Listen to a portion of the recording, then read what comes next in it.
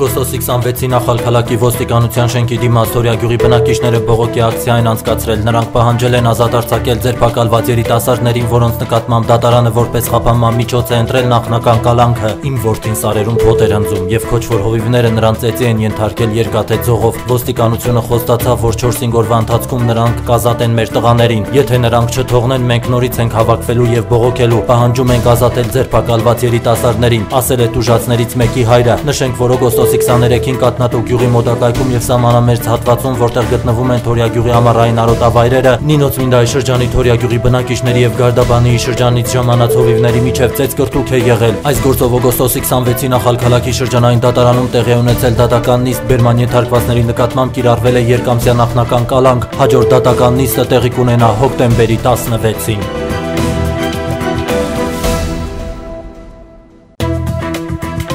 Այսօր Մեծ Խանչալի գյուղում այրվել է գյուղի բնակիչ Կոնդյան Վոլոդյային պատկանող դեզը, որը բաղկացած է եղել 445 հակից։ Սեփականատիրոջ խոսքով հրդեհը բռնկվել է օրվա ընթացքում, այրվել է մոտ 9 տոննա խոտ։ Մեծ Խանչալի գյուղի բնակչի խոսքով այս տարի խոտը շատ սակավ է, գրեթե բոլորն էլ խոտ են գնել, ուստի ոչ ոք չի կարող օգնել։ Նախկինում նման դեպքերում ամբողջ գյուղին օգնում էին, բայց այս տարի բոլորը գնել են, ինչպես օգնեն, նշել է բնակիչը։ Հրդեհի պատճառը երեխաների կողմից կրակի հետ անզգույշ վերաբերմունքն է եղել։ Հրշեջներն ու համագյուղացիները միասին հանգցրել են հրդեհը։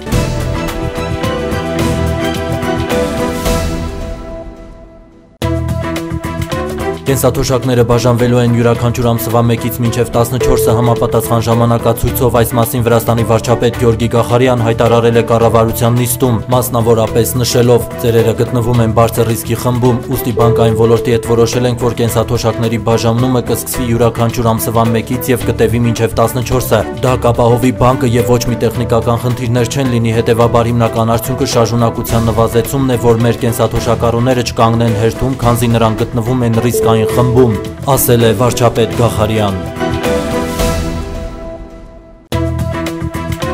Շրջակա միջավայրի ազգային գործակալության տեղեկությամբ օգոստոսի 27-ից 28-ին օդի ջերմաստիճանը կլինի +20-+32 աստիճան, որոշ վայրերում սպասվում է անձրև։ Օգոստոսի 29-ից 31-ին հիմնականում կլինի առանց տեղումների եղանակ, օդի ջերմաստիճանը կբարձրանա մինչև +29-ից +34 աստիճան։ Ինչ վերաբերում է մայրաքաղաքին, Թբիլիսիում սպասվում է տաք եւ առանց տեղումների եղանակ, օդի ջերմաստիճանը կլինի +31-ից +33 աստիճան։